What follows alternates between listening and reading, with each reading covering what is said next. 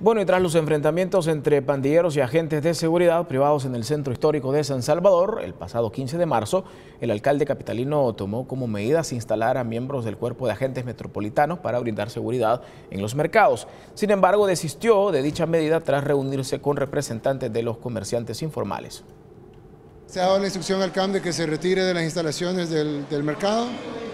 El segundo es de que se le autoriza a los usuarios a que contraten a la empresa privada que ellos deseen para la seguridad, como ha sido durante décadas.